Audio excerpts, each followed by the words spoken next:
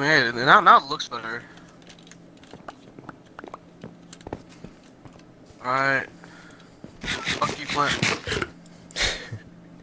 Clint.